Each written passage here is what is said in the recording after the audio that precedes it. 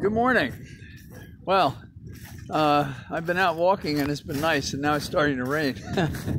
Maybe the weather's trying to tell me I shouldn't be doing this, um, but uh, I think we probably have enough time before it dumps like a, a kitchen sink on top of me. Uh, I think it's interesting that this guy named Lamb, who's the head of uh, some Christian network, uh, who was very strong in all the conspiracy theories against the vaccine, is now dead in the 60s. Good job, fella.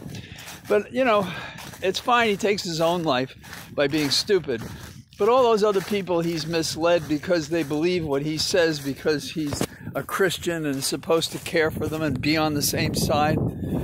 I don't believe in hell, but figuratively, metaphorically, that's what he's done. Uh, he's he's commissioned himself to hell for all the people he's hurt, including himself and his family members, who knows, who may have been vaccinated. Uh, some people pushed back when I said that there is a possibility we can save Roe v. Wade and Casey, and I, I think that's true.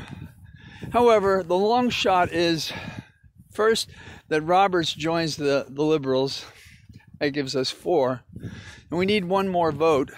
And Kavanaugh in the past has, I think, shown some ambition to side with uh, Roberts for the purposes of appearing more constructive. Of course, this was a defining issue that got him on the court. Of course, he also promised Senator Collins that he respected precedent. We know these guys lie, so uh, uh, the hope is that maybe not for the right reasons, but as an outcome, they decide to support the precedent. If they don't, they're going to be safe safe states for women and ones that are not. And uh, we're going to have to work in each of our states to keep women safe and win elections. It's that simple and that difficult. In the category of Rittenhouse, I know, going back a little bit, remember how his mom brought him to the scene of the crime, basically. Well, that's some sort of parenting, isn't it? Well, the shooting that happened in Michigan, the prosecutor is doing something interesting. She's going after the parent, parents, who, in her mind, and perhaps is true, I don't know the facts yet, but I like it as a template. Why should parents of minors be able to walk away from the fact that they may have facilitated the death that was caused by their child, man, woman, usually a man, usually young, who got a gun that he or she shouldn't have had? I'm glad to hear Stacey Abrams announce yesterday that she's going to uh, run for governor again. I hope she gets it this time. And uh, in the category of Trump is always the bad guy, legitimately, honestly, sometimes inconceivably, even for those who, who believe he's a tramp and no good and evil and amoral. he had the virus before the first debate with uh, Biden. What kind of person does that kind of stuff? Trump. And the thing that drives me crazy is still no reckoning. Yes, I'm encouraged that we're looking at uh, Sidney Powell's uh, fundraising in connection with uh, the insurrection and opposing uh, counting the votes for Biden. And yes, I'm encouraged by the fact that we have contempt charges against Bannon. And yes, I'm encouraged that apparently we're going to have more contempt charges today, and I hope that keeps coming.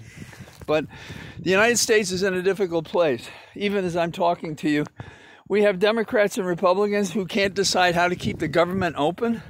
How are we the best and the brightest? How are we to lead the world when we can't run our government any better than kids run a Kool Aid stand. In fact, the kids I've seen run Kool Aid stands, including my own experience, uh, we did a better job than these guys. We counted the money. We gave good products. we were, we responded to the the consumers. You know, uh, I you wouldn't trust a lot of these guys to park your car, and when you hear them talk, you wouldn't want them around your children or your family because they're so discontent. And you got to ask yourself, how is it that a member of Congress could threaten the life of another member of Congress and no one file an assault charge? Even out here in sleepy Loudoun County, some guy uh, got upset with me. I think it was about guns. It may have been about some other issue, including taking down the statue of the Confederate soldier in the nearby county seat. And uh, I reported him to the police and forced them to apologize. And I did ask the sheriff to go after him.